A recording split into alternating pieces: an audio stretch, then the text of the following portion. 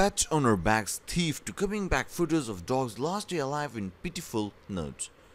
Saoirse Morgan was walking on a street in Toronto, Canada, when she came across a heartbreaking note that was taped to a lamp post. She snapped a picture of it and posted it on Facebook, which quickly went viral, breaking the hearts of thousands of people all over the world. The note was written by a pet owner who is begging the man who had just robbed them to return the memory card from the camera they took. The memory cards contained pictures of their dog's last day alive on it. Keep the cash in my DSLR and whatever else you took. But if you have the memory card from the camera, please, edit the photos of my dog's last day alive on it. I cannot replace those photos. Please throw it onto the porch or put it in the mail slot.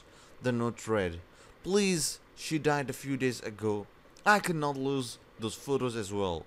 The dog's owner is asking it to be returned to 735 Bloor, STW Toronto, Ontario, MG1 L5. If you have any information regarding the situation, please text or call 647 267 0366. Photo taken at Bloor and Lansdowne.